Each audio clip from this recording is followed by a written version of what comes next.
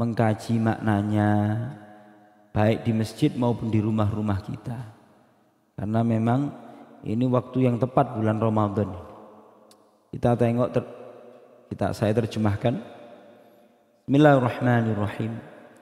Alam tara ilal mala'i min bani Israel min ba'di Musa. Apakah kalian tidak melihat melihat untuk memperhatikan dan mengambil pelajaran ilal mala'i min bani Israel kepada para pembesar Bani Israel min ba'di Musa sesudah Nabi Musa wafat pada era itu Bani Israel diutus kepada mereka itu nabi namanya Samuel. Ini yang memimpin Nabi Samuel. Idh qalu.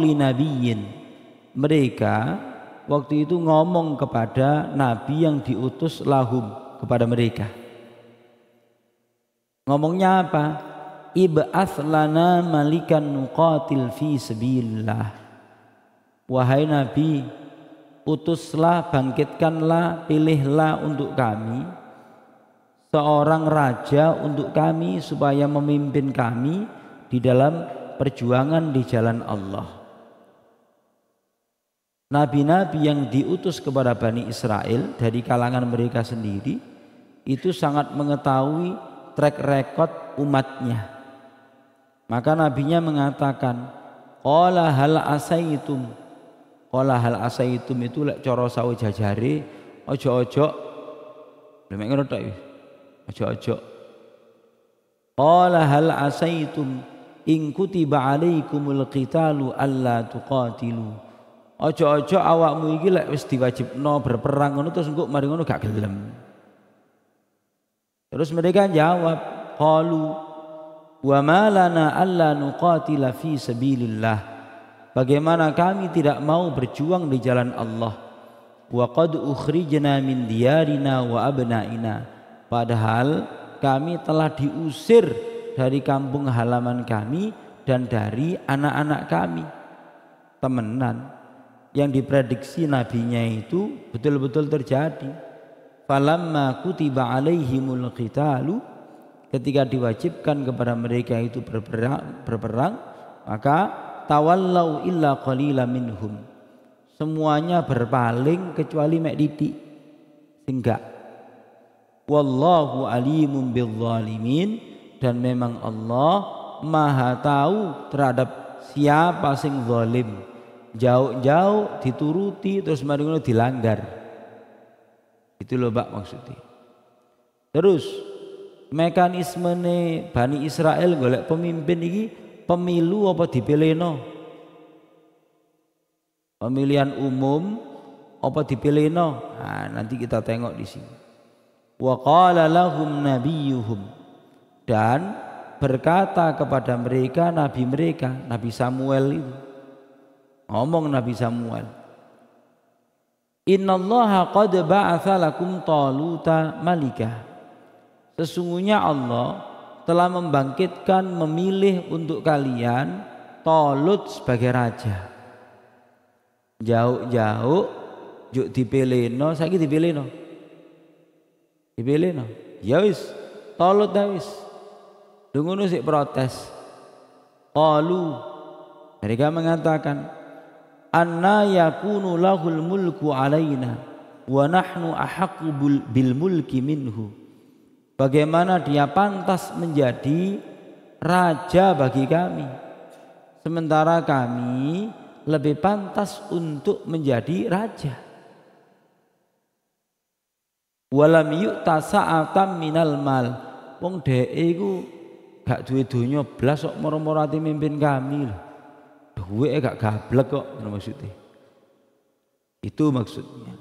Padahal kepemimpinan di dalam peperangan konvensional pada zaman dahulu itu yang dibutuhkan bukan duit pak.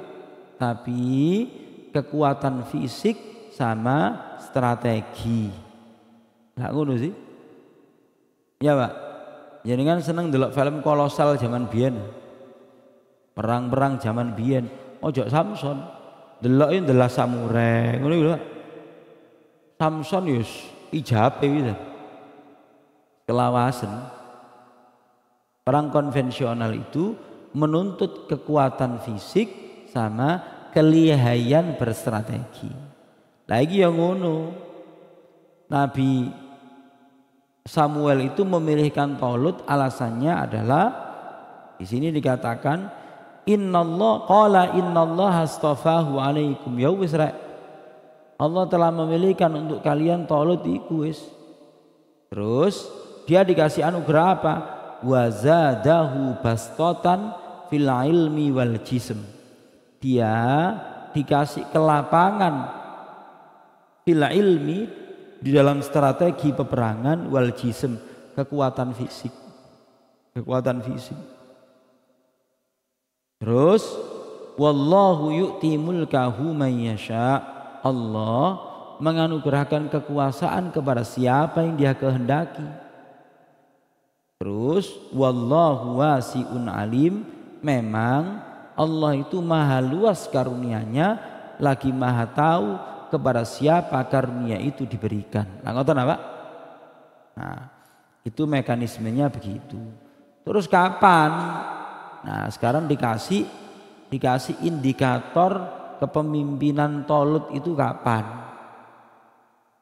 Wa qala lahum nabiyuhum sungguh di antara eh, berkatalah nabi mereka kepada mereka Inna ayata mulkihi sungguh satu di antara tanda bahwa Tolid itu bakal menjadi pemimpin bagi kalian adalah ayat tiyakumut tabutu bahwasanya bakal datang kembali kepada kalian tabut.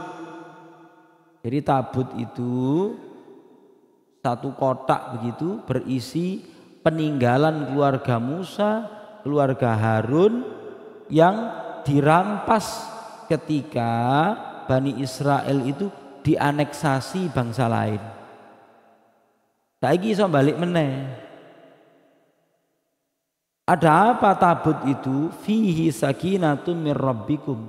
Kalian lek sudah memiliki tabut itu tenang dan memiliki kepercayaan diri, pulih.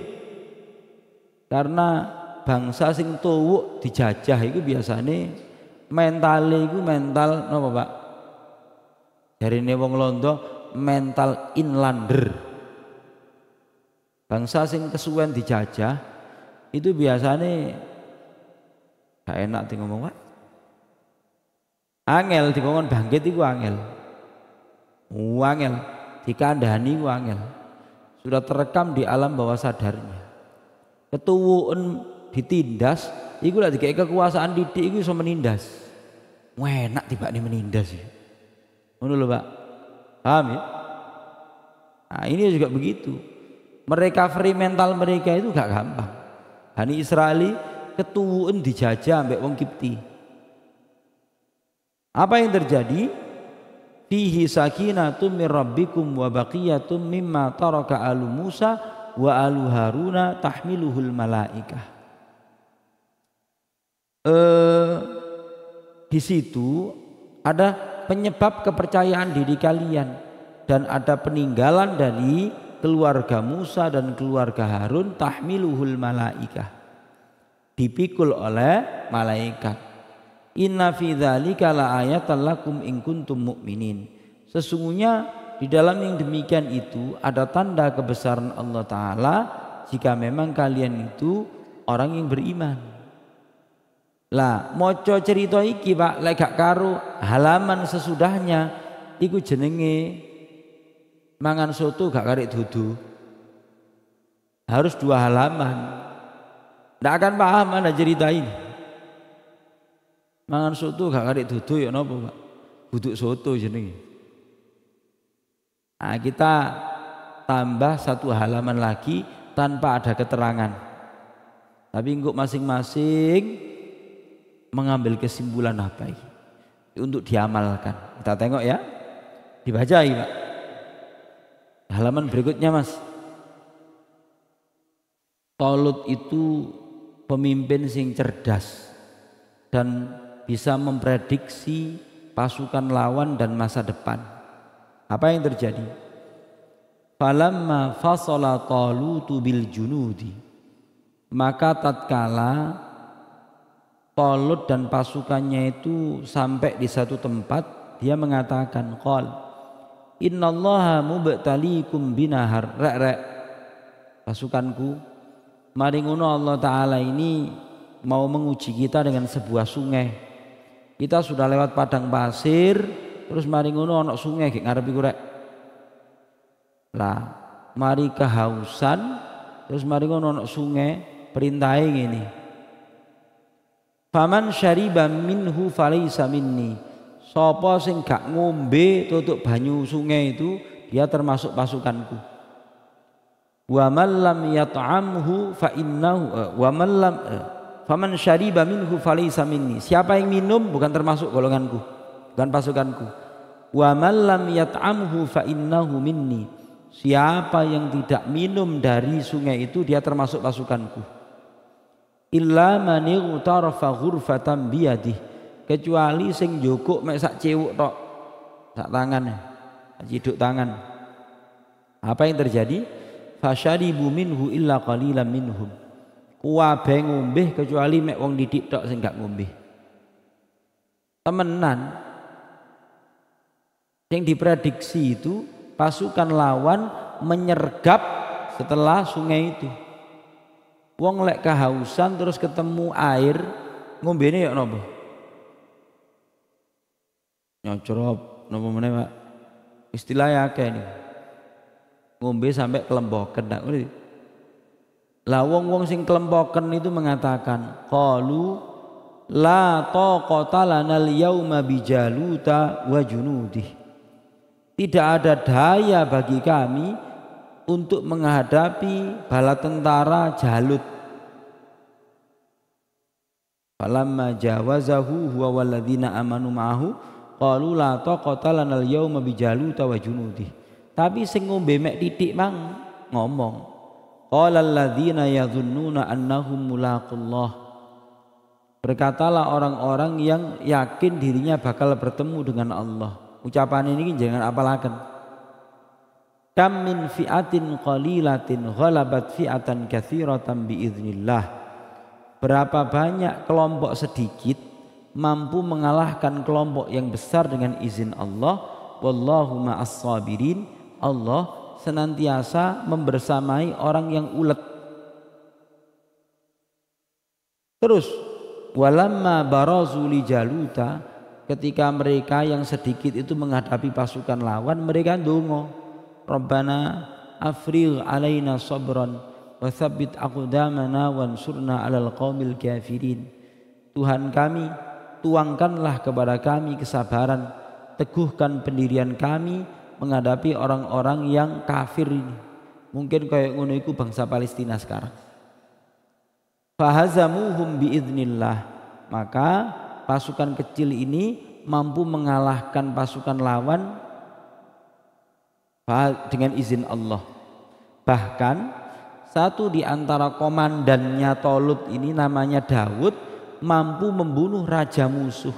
Wa qatala Dawudu Jahluta wa atahullahul mulka wal hikmata wa 'allamahu mimma yasha.